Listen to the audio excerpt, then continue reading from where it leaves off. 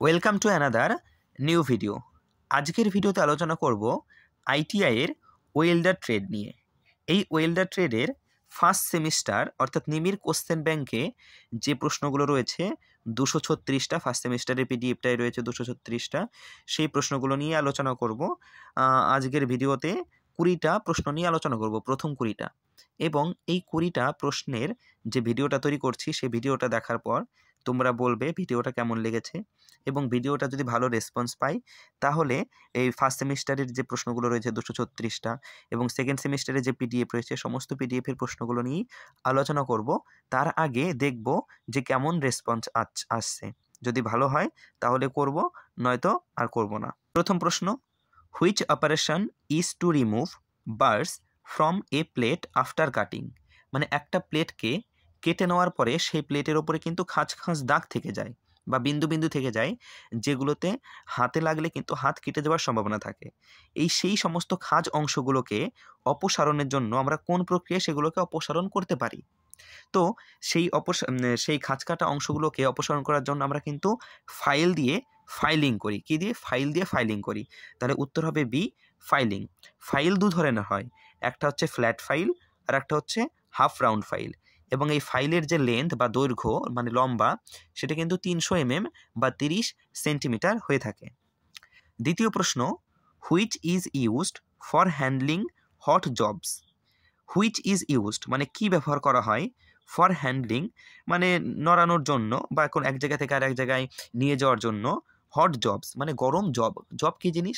ধরো আমরা একটা প্লেট আছে, সেটাকে ওয়েল্ড ওয়েল্ড ওয়েল্ডিং করেছি বা সেটা পাইপ হতে পারে, সেটাকে ওয়েল্ডিং করেছি এবং সেটা যখন ওয়েল্ডিং করার পর যখন গরম হয়ে যায়, তখন সেটাকে এক জায়গা থেকে আর এক জায়গায় সরানোর জন্য আমরা কীভাবে সেটাকে সরাবো, কিসে করে?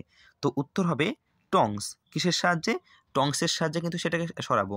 টংস অনেকটা সারাশির মতন দেখতে হয়, যাকে বাংলায় সারাশিও বলে। এই টংস কিন্তু দু ধরনের হয়।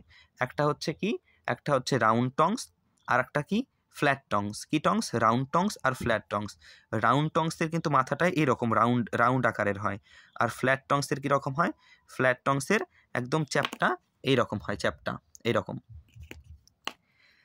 তিন নম্বর প্রশ্ন which part of the hammer fits into the handle for its rigidity বলেছে হুইচ পার্ট মানে কোন অংশ অফ দ্য হ্যামার হাতুড়ির কোন অংশ হ্যামার মানে হাতুড়ি, হাতুড়ির কোন অংশ ফিটস ইনটু দ্য হ্যান্ডেল মানে হ্যান্ডেলে ফিট করা হয় ফর ইটস রিগিডিটি রিগিডিটি মানে কি?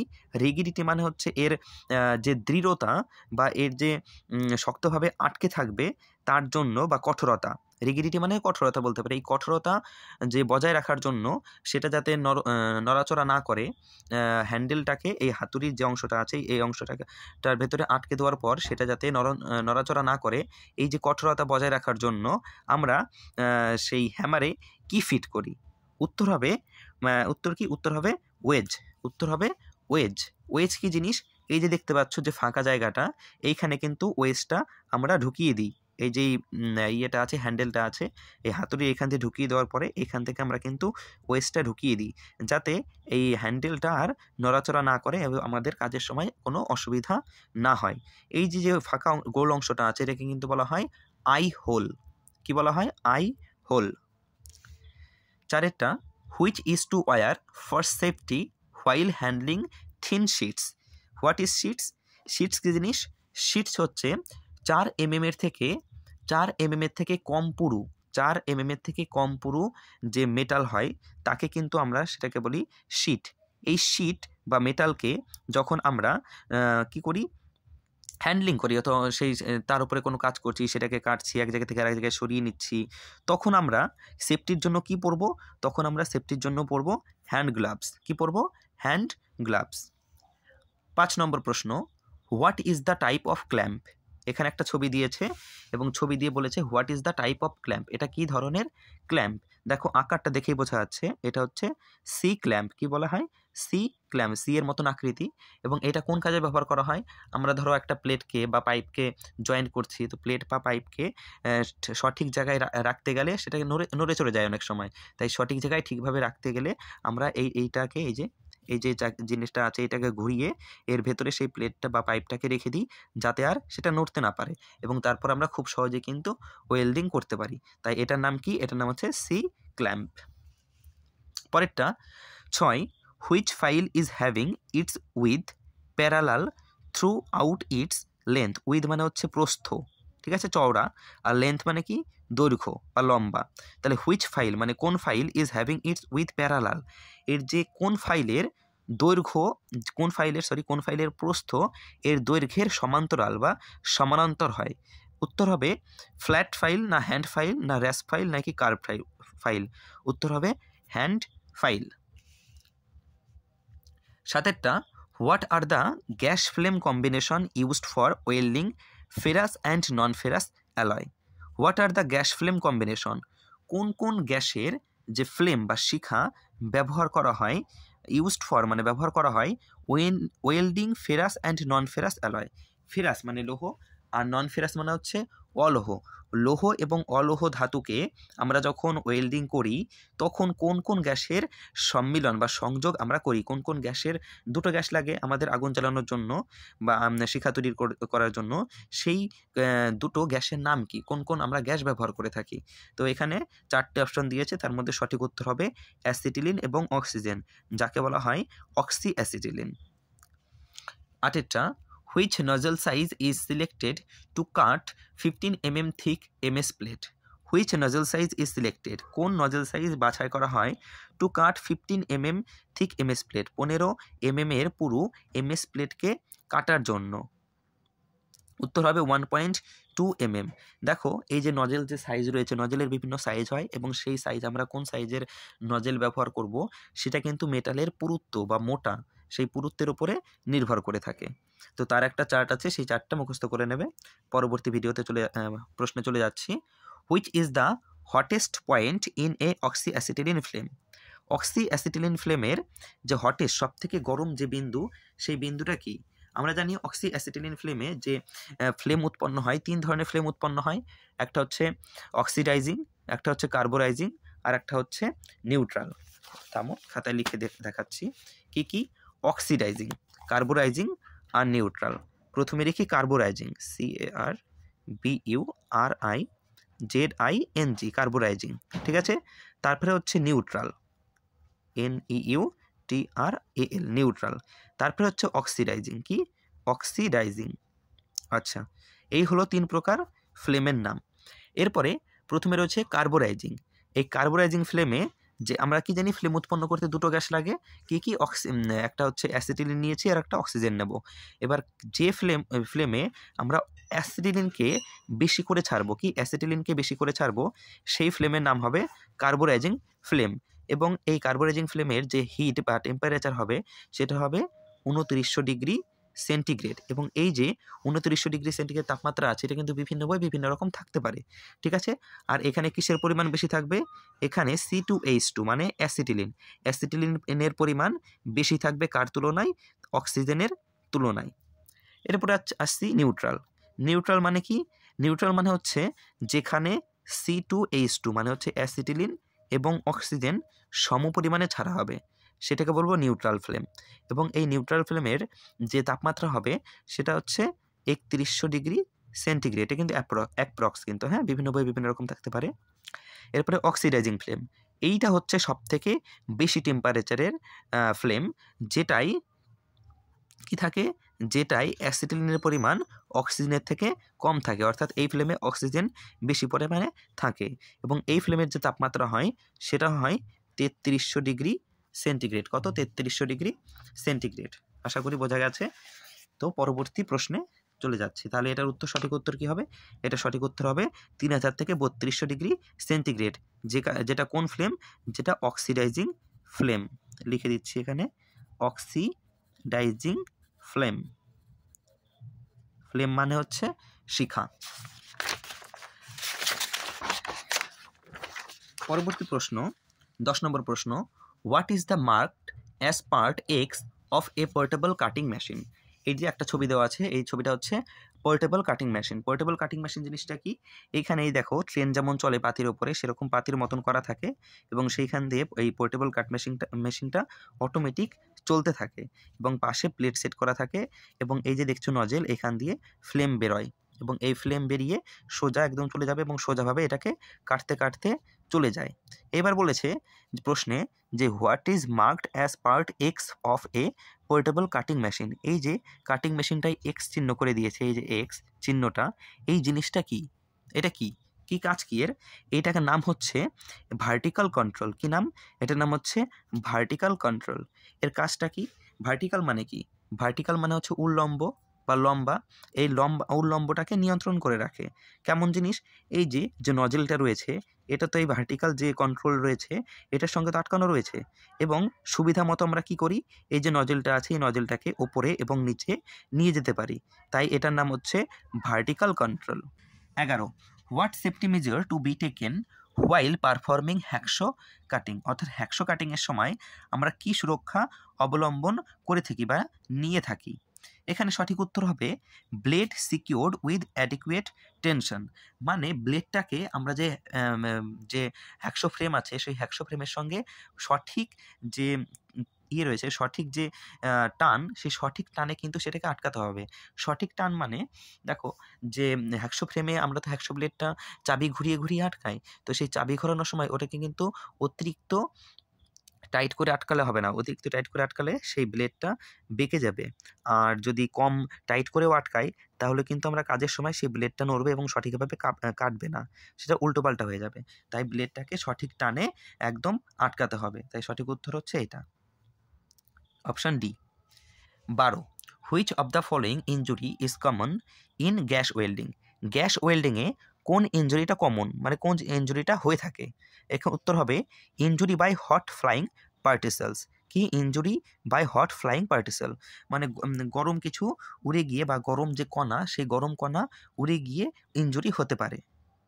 উত্তর হবে D what is the name of blow pipe part X shown in figure পর একটা ছবি দেওয়া আছে ব্লো পাইপের এই যে ব্লো পাইপ এই ব্লো পাইপে যে এক্স দিয়ে যে চিহ্নটা দিয়ে দিয়েছে, ভালো করে দেখাচ্ছে, এই যে চিহ্নটা এখান থেকে চলে গিয়ে দেখিয়েছে, এই যে চিহ্নটা দিয়েছে অংশটা, এই অংশটার নাম কি? এই অংশটার, এটা কিন্তু একটা কাটিং টর্চ হ্যাঁ? এই অংশটার নাম হচ্ছে অক্সিজেন কন্ট্রোল ভাল্ভ কি? অক্সিজেন কন্ট্রোল ভার্ভ এই কাজটা কি? আমরা যখন এই কাটিং টর্চ দিয়ে কোনো মেটাল কাটি, তখন কি হয়? আমরা তো অক্সিডাইজিং ফ্লেম তৈরি করে নিই এবং অক্সিডাইজিং ফ্লেম বেরোচ্ছে, তখন অক্সিজেন এবং অক্সিজেনের পরিমাণ বেশিই থাকে কার্বন অ্যাসিডিনের তুলনায় এবং মেটালটাকে যখন ধরে ফ্লেমটাকে ধরি মেটালের ওপরে, সেই মেটালটা যখন একদম গরম হয়ে যায়, গরম হবার পরে এই যে রয়েছে control valve oxygen control valve এই অক্সিজেন কন্ট্রোল ভাল্ভটাকে তখন আমরা এই যে এটাকে নিচের দিকে চাপ দিই। নিচের দিকে চাপ দিলে কি হবে? এখান দিয়ে অক্সিজেন গ্যাস আরও বেশি পরিমাণে বেরিয়ে আসবে এবং অক্সিজেন গ্যাস যখন বেশি পরিমাণে বেরিয়ে আসবে, তখন সেই মেটালটা কেটে পড়ে যাবে এবং আমরা সেই এটাকে নজেল নজেলটাকে আস্তে আস্তে সামনের দিকে নিয়ে যাব এবং মেটালটা আস্তে আস্তে কেটে পড়ে যাবে। তাহলে এটা চাপ দিলে বেশি করে আরও অক্সিজেন বেরোবে। তাই এর নাম হচ্ছে অক্সিজেন কন্ট্রোল ভাল্ভ মানে অক্সিজেনকে কন্ট্রোল করি তাই নাম হচ্ছে অক্সিজেন কন্ট্রোল ভাল্ভ এই যে তরোয়ালের মতন যে অংশটা রয়েছে।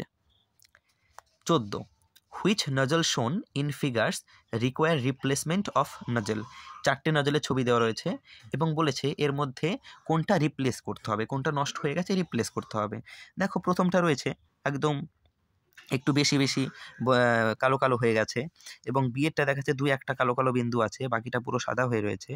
সিয়েরটা দেখাচ্ছে একদম ঠিকঠাক। দেখো নজলে যেরকম ছিদ্র থাকে পাঁচটা ছটা, সাতটা করে, ঠিক সেরকম কিন্তুই একদম যথার্থ ছিদ্র রয়েছে এবং ডিতে রয়েছে কি একদম যে নজলের মুখটা পুরো একদম বন্ধ হয়ে গেছে, অর্থাৎ কাম তামাম। তাহলে এই যে নিচে যে ডি ডি নম্বরে রয়েছে, এখান দিয়ে কিন্তু কি হবে? এখান দিয়ে গ্যাস আর বেরোবই না। তার জন্য এটা রিপ্লেস করতে হবে, তাহলে এটা নষ্ট হয়ে গেছে।